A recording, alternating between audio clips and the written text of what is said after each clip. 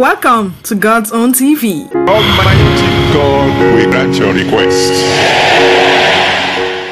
Primate Ayodele discloses what God told him about the forthcoming election. Primate Elijah Ayodele, the founder and general overseer of the INRI Evangelical Spiritual Church, shared what God told him about Naira scarcity being experienced in Nigeria and the coming 2023 general election. The clerical shared his message on his church platform, said that the shortage of cash won't be resolved until after the week of election. In his words, this week won't see a resolution to the Naira note shortage. From the following week, it will be resolved. The Lord has made this revelation. Speaking on the coming election, he noted that INEC will experience a serious problem with the masses if the presidential candidates for APC, Ahmed Bola Tinubu, and Labour Party, Peter Obi, doesn't win the election. According to him, the supporters of the said presidential aspirant are not ready or willing to accept a defeat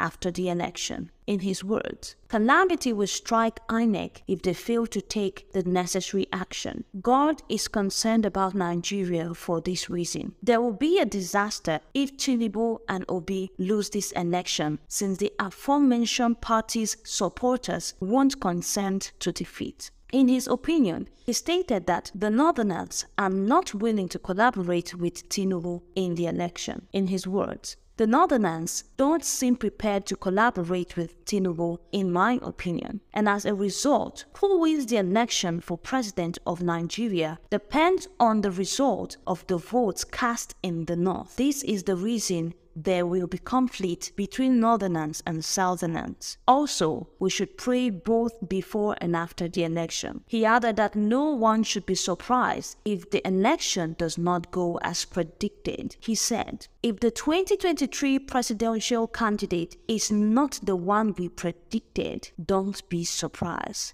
Though I haven't been instructed by God to announce the victory, the Lord, however, told me to convey this message to you. God's blessings on you.